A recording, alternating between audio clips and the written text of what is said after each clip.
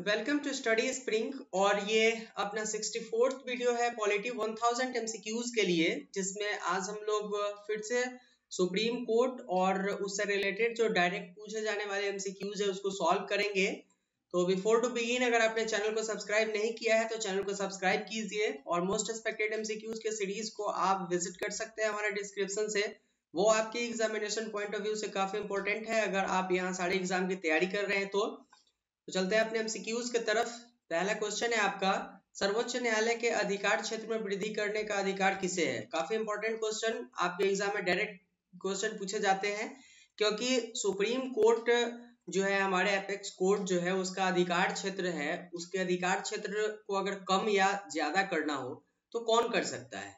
क्या वो सर्वोच्च न्यायालय खुद कर सकता है, राष्ट्रपति कर सकते हैं, संसद कर सकता है या मंत्री परिषद कर सकता है? तो इसका राइट आंसर आपका गौ हो जाएगा, संसद। कंफ्यूजन यहाँ होता है कि सर्वोच्च न्यायालय के मुख्य न्यायाधीश की नियुक्ति राष्ट्रपति के थ्रू होती है। तो थोड़ा सा प्रॉब्लम यहाँ इसलिए आता है क्योंकि जब वृद्धि करने की बात आती है तो डायरेक्ट हमारा जो ध्यान है वो जाता है राष्ट्रपति के तरफ़, क्योंकि सॉरी ये वृद्धि जो करते हैं, ये नियुक्ति करते हैं सर्वोच्च न्यायालय के मुख्य न्यायाधीश की राष्ट्रपति तो वृद्धि करने का भी अधिकार राष्ट्रपति के पास ही होना चाहिए, लेकिन ऐसा नहीं है। जब तक संसद नहीं चाहेगी तब तक सर्वोच्च न्यायालय के अधिकार क्षेत्र में वृद्धि नहीं हो सकता है। तो राइट आंसर आपका गौ हो जाएगा। नेक्स्ट क्वेश्चन देखते हैं। सर्वोच्च न्यायालय द्वारा घोषित निर्णय या आदेश भारत के राज्य क्षेत्र के भीतर किन न्यायालयों के लिए आवश्यक रूप से मान्य होता है? सपोज़ दैट अगर ऐसा बोला जाता है, हमारे honourable apex court supreme court की तरफ़ से, ठीक है, उच्चतम न्यायालय की तरफ़ से, कि अगर ऐसा है कि आज से जो पॉस्को एक्ट है, ठीक है, उसमें जो न्याय का प्रोसेस होगा, वो थोड़ा सा चेंज होकर के आएगा तो एपेक्स कोर्ट की तरफ़ से अगर कुछ चेंजेस किया जाएगा तो क्या वो उच्च न्यायालय के लिए केवल मान्य होगा? क्या वो जिला न्यायालय के लिए मान्य होगा, मुंसिफ न्यायालय के लिए मान्य होगा या सभी के लिए? तो इसका राइट आंसर आपका घाव हो जाएगा सभी के लिए, क्योंकि जो अपेक्स कोर्ट है, ठीक है, उसके पास जो स्पेशल पावर होता है कि वो जो भी आदेश देती है, उसका जो है वो आवश्यक रूप से सभी के लिए मान्य होता है, चाहे वो उच्च न्यायालय हो, जिला न्यायालय हो मुंसिफ न्यायालय हो, क्योंकि वो अपेक्स है, सबसे सर्वोच्च है। इसलिए उसके आदेश का पालन करना सारे न्यायालयों की एक ड्यूटी है। तो राइट आंसर ग हो जाएगा। नेक्स्ट क्वेश्चन देखते हैं हम लोग। सर्वोच्च न्यायालय की पहला, पहली महिला न्यायाधीश कौन थी? इंपॉर्टेंट क्वेश्चन है आपके लिए। ये सब क्वेश्चन जो है, वो डायरेक्ट एग्ज़ाम में आते हैं। यहाँ पे बस केवल रटना है हम लोगों को। और इसके बाद और कुछ करना ही नहीं है। ठीक है? तो आपको वो सारे कंटेंट भी दिए जाते हैं, जो आपको रटने वाले होते हैं, वो कंटेंट भी दिए जाते हैं, जो आपको प्रैक्टिस करवाता है। तो मोस्ट एक्सपेक्टेड एमसीक्यूज का जो सीरीज़ है, वो आपको प्रैक्टिस करवाने के लिए दिया जाता है। और बाकी जो थाउज़ेंड एमसीक्यूज का सीरीज़ है, ये आपको रटने के लिए दिया जाता है। क्योंकि आप इसको जैसे बार बार रिवाइज कीजिएगा, ये आपके मेमोरी में जाके सेट हो जाएगा, फिर आप इसको कभी भूल नहीं पाइएगा। बाकी एक्सप्लेनेशन के लिए हम लोग हैं, खुद एक्सप्लेन करते हैं इसको।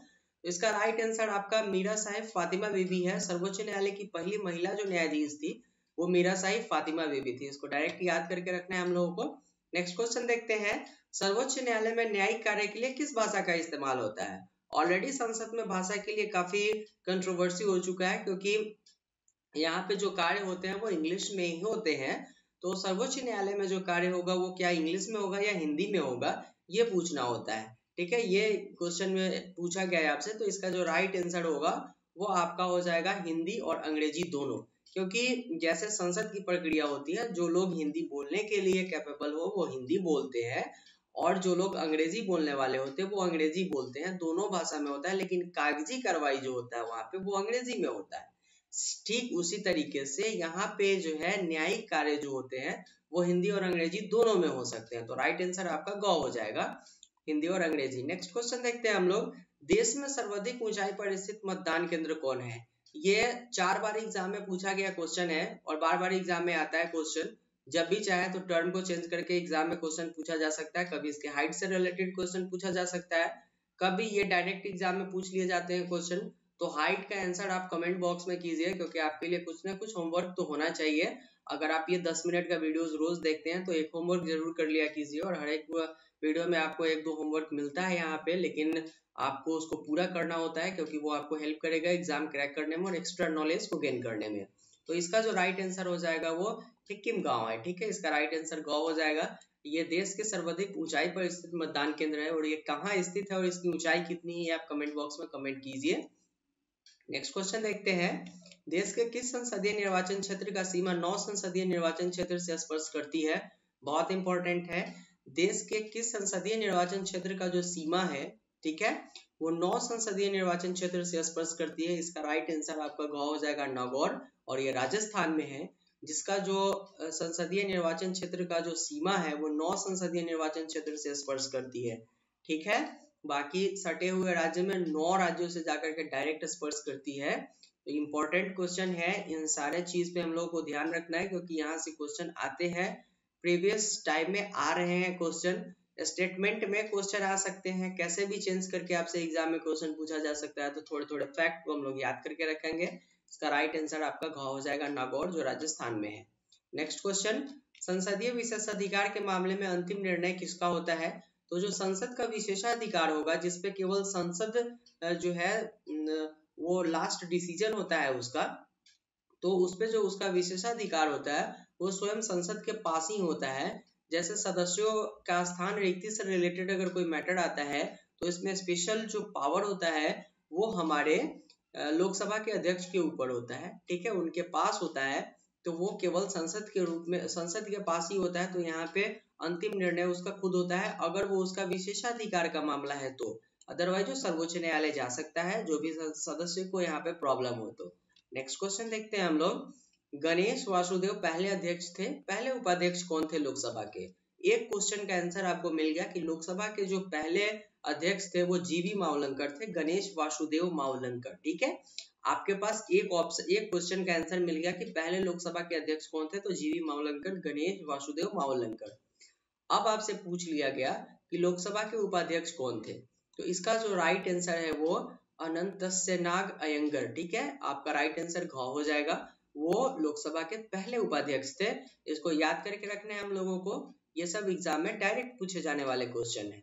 नेक्स्ट क्वेश्चन देखते हैं। लोकसभा का सचिव सचिवालय किसके देखरेख में कार्य करता है? लोकसभा में एक सचिवालय भी होता है। अब क्वेश्चन आपसे पूछा जा रहा है कि वो सचिवालय जो वो आखिर किसके देख रेख में कार्य करेगा? तो वो संसदीय मामले के जो मंत्री होंगे, उनके देख रेख में काम करेगा, ठीक है? तो संसदीय मामले के अभी जो मंत्री हैं, उनका नाम आप कमेंट बॉक्स में कमेंट कीजिए, क्योंकि ये सारे चीज़ आपके लिए इम्पोर्टेंट है। अगर आप करेंट से जुड़े हुए हैं प्लस आपके पास फैक्चुअल डाटाज हैं तो एग्ज़ाम में क्वेश्चन छूटने के चांस बहुत कम होते हैं और इस चैनल का मोटो भी वही है कि आपको सारे कंटेंट फ्री ऑफ़ कॉस्ट दिए जाए, जो एक पेड कोर्स में मिलता है। तो बिल्कुल चैनल को सब्सक्राइब कीजिए और वीडियोस को जितना हो सके शेयर कीजिए बेल आइकन को प्रेस कीजिए, क्योंकि नोटिफिकेशन आपको तभी मिलेगा। नेक्स्ट क्वेश्चन देखते हैं। संविधान के अनुसार राज्यपाल पद पर नियुक्ति के लिए क्या हड़ताएँ होनी चाहिए? काफ़ी इंपॉर्टेंट अब हम लोग राज्यपाल चैप्टर पर भी पहुँच गए हुए हैं। ये आपका राज्यपाल से रिलेटेड कुछ एमसीक्यूज अब सॉल्व करेंगे। इसमें हम लोग, हम लोगों ने सुप्रीम कोर्ट चैप्टर को क्लियर कर लिया है। जहाँ से क्वेश्चन आते हैं। नेक्स्ट आपका है कि संविधान में राज्यपाल की नियुक्ति के लिए क्या हड़ताएँ होनी चाहिए? तो भारत के नागरिक हो 35 वर्ष की आयु पूरी कर लिया हो वह संसद या किसी राज्य विधानमंडल का सदस्य न हो, या किसी लाभ के पद पर नहीं हो। पहले ऑप्शन में थोड़ा सा कंट्रोवर्सी है कि भारत का नागरिक होगा तो क्या वो जन्म से होगा? या अगर वो यहाँ की नागरिकता को ग्रहण किया है तो भी वो राज्यपाल के पोस्ट के लिए एलिजिबल है या नहीं, ये मेंशन नहीं किया गया है। ठीक है? क्योंकि यहाँ वो जन्म से भारत के नागरिक को ऐसा मेंशन नहीं किया गया, इसलिए जो आदमी भारत की नागरिकता को ग्रहण किया है, वो भी इसके लिए एलिजिबल हो सकता है। बाकी 35 वर्ष की आयु पूरी कर लिया हो, ये भी सही है। नेक्स्ट है कि वो किसी राज्य विधानमंडल का सदस्य नहीं हो, ये भी सही है, और वो किसी लाभ के पद पर नहीं हो, तभी वो राज्यपाल गवर्नर के लिए एलिजिबल हो सकता है। राइट आंसर आपका ग हो जाएगा, ठीक है?